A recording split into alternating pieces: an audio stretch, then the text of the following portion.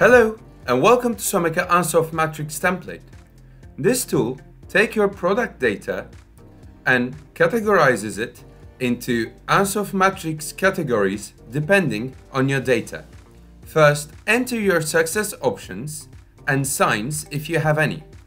For this example, after you defined your success options and signs, you can now go to Dashboard to enter your data.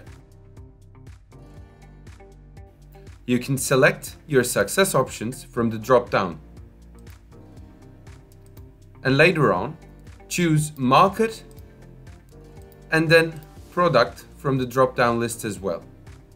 Once you select Market and the product, the description will be automatically placed in the proper category. As you see, that when we change the products, the category of the description shifts. You can also see the reports of your dashboard.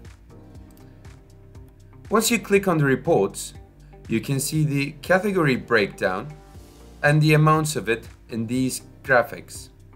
You can also see the amount of success levels in this graphic. And lastly, you can check your products in this section to find out its category. I hope this video was useful. Thanks for watching.